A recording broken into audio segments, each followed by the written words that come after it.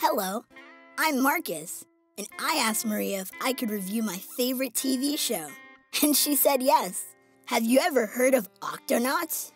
It's the best TV show ever. Whoa, whoa, whoa. Oh, hi, Maria.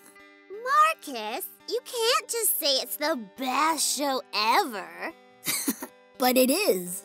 But how can you know? There's like a bazillion other shows out there. Just watch. Octonauts is about a team of explorers who live in the Octopod, a giant underwater base that looks like a squid.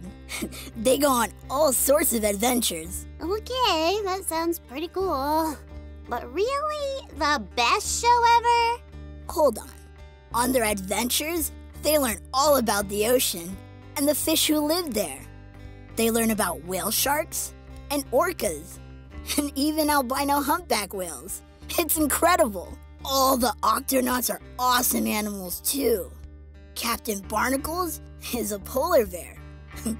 Kwazii is a cat. And Peso is a penguin. In one adventure, they have to rescue Dashi, a bear, from the belly of a shark.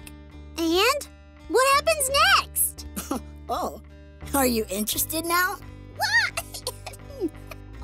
No. okay, yes, it sounds amazing. What happens next? Well, you'll just have to watch and find out. Done. I can't wait. It's a pretty awesome show.